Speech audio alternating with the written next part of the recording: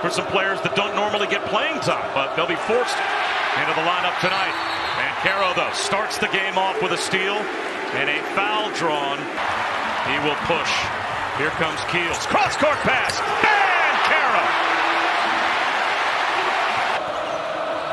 Warley with the left hand. Soft off the window. Not there. Caro. Once John Butler got in foul trouble with two, went to the bench. Play with some poise. Caro threw a double team. Threw it away to the corner. That was intercepted to Wilkes. It's off the back rim. Offensive rebound, though, by Fletcher. In traffic, he'll go to the line. But bounces to Cleveland. Slapped out of his hands, though, by Williams, but he gets it back. And fouled by Ben Banchero. Long battle to try and defeat pediatric cancer. Well, we wish you well, Dickie V. We're pulling for you.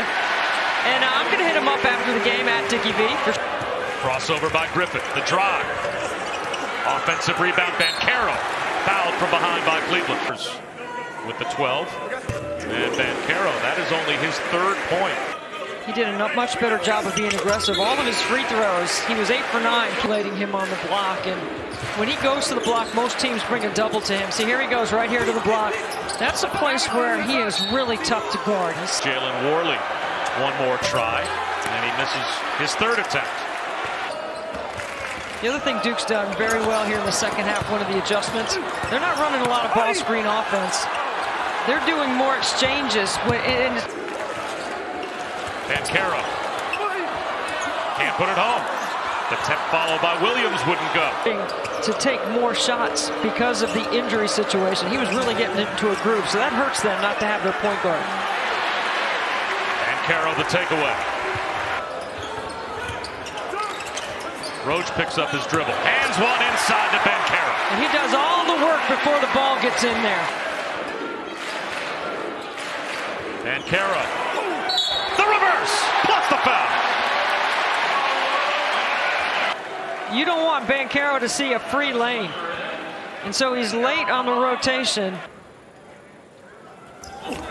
I got to believe, Bob, that Rhonda Smith is game breakdown as that three off the mark from Wyatt Wilkes. He told us earlier in the year. And Caro, the trailer, kicks it out to Keels. Down low, Banchero. Nice pass. Warley turns it over. Wendell Moore. The hit ahead to Banchero. Lays it in.